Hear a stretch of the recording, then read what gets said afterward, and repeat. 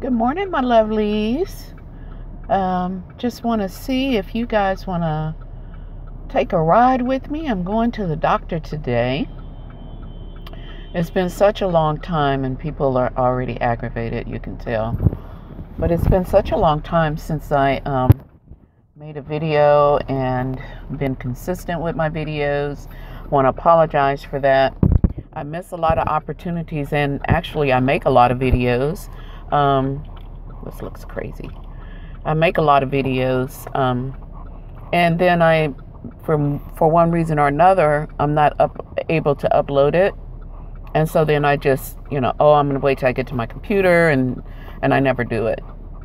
So first and foremost, I apologize for falling off the radar because I know it's so many people out there that are dealing with autoimmune issues, doctor issues, medication issues, life issues, and um, and I just don't um, stay in touch enough. And uh, for that, I am truly, truly sorry. Uh, I think I'll turn the camera around. Let me see if I can do that without um, without stopping the video um, I want to um, kind of bring you up to speed on some of the stuff I've been going through.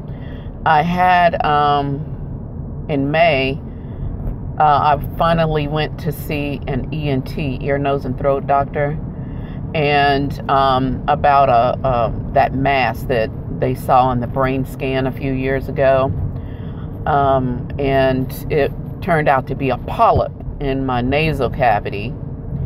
And so um, I went to see the ENT, and, and he, you know, said we'd have to remove it surgically, and um, it would be a general anesthesia, anesthesia, anesthetic, put it that way.